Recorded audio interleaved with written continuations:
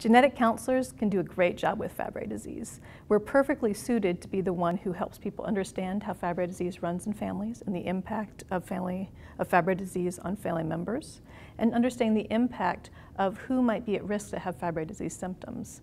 Since Fabry disease is such a sneaky condition and that the symptoms are not things you can measure easily. The symptoms are things like burning pain in the hands and feet that can't be measured on a nerve conduction test, or they can be issues with gastrointestinal issues, with diarrhea and constipation that can look like somebody is just kind of making it up if you can't find a reason. So when we talk about Fabry disease and genetic counselors, they're great for going out and educating about what Fabry disease is and how Fabry disease uh, can impact someone's life and how it can be that uh, physicians can find people with Fabry disease. In day-to-day life, genetic counselors do a great job managing care for patients with Fabry disease.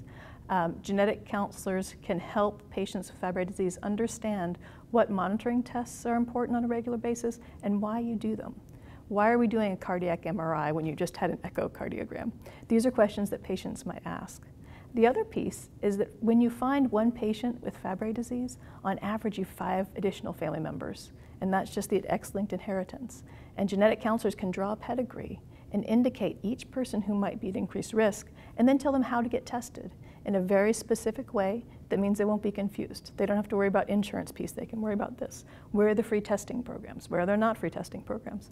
I think genetic counselors in Fabry disease are most important in figuring out next steps. What do you do next to improve your life, to get on treatment, to do what you need to do for your family members? And this is important because Fabry disease is a whole family disease. It's not just one person.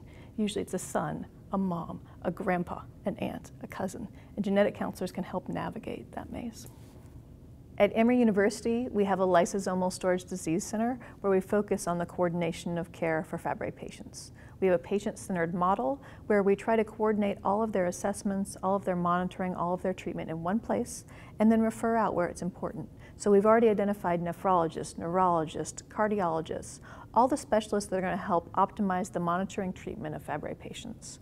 Um, for geneticists, they are the primary contact because they understand the quirks that are go in treating a patient with Fabry disease, the autonomic dysfunction, the reason that you don't really want to use beta blockers. These are different things that really a medical geneticist can help the other team members and also external team members understand.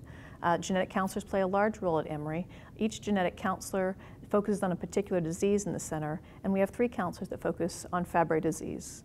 One exclusively, that would be me, and then the rest of them who have pieces and parts of Fabry disease and other genetic conditions, which really provides a great team approach that's patient focused and hopefully uh, provides the best possible outcomes.